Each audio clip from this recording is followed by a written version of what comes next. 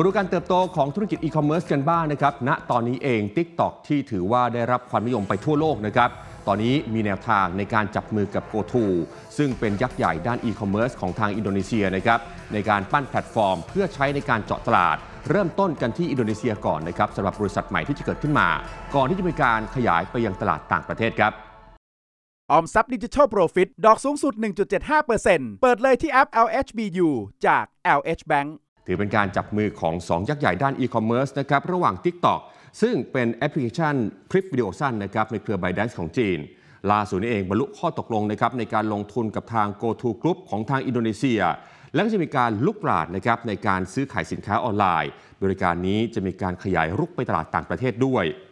ข้อมูลในข่าวเนี่ยนะครับมีการระบุว่า TikTok ตกลงที่จะร่วมมือกับ Tokopedia ของทาง GoTo Group ในหลายด้านด้วยกันครับ แทนที่จะมีการแข่งขันกันนะครับ แต่ว่าตอนนี้อยู่ระหว่างการหารือรายละเอียดขั้นตอนสุดท้าย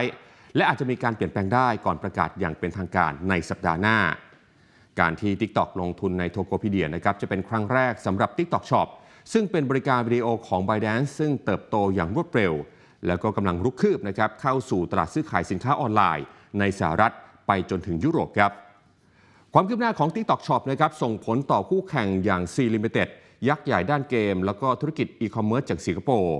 แล้วก็ Tokopedia นะครับที่ก่อนหน้านี้เองเนี่ยถือว่าเป็นคู่แข่งกัน แต่ว่า TikTok Shop ก็ต้องหยุดชะงักลงครับ หลังจากที่อินโดนีเซียถ้าเกิดจำข่าวกันได้นะครับคุณผู้ชมครับ มีการสั่งห้ามทำธุรกรรมอีคอมเมิร์ซบนแพลตฟอร์มโซเชียลมีเดียซึ่งเป็นการตอบสนองข้อเรียกร้องของพ่อค้าแม่ค้าในท้องถิ่นนั่นเอง และเมื่อเดือนที่แล้วนะครับรูมเบิร์กก็มีการรายงานว่า TikTok กับ GoTo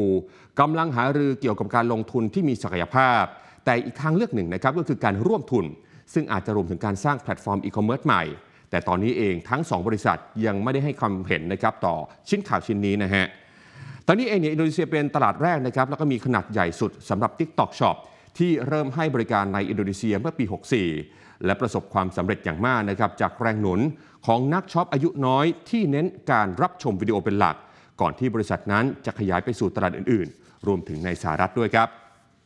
ขอบคุณที่ติดตามรับชมย่อโลกเศรษฐกิจนะครับ อย่าลืมกด subscribe กดติดตาม กดไลค์และกดแชร์ และคุณจะไม่พลาดทุกคลิปวิดีโอดีๆ จาก TNN ช่อง 16 ครับ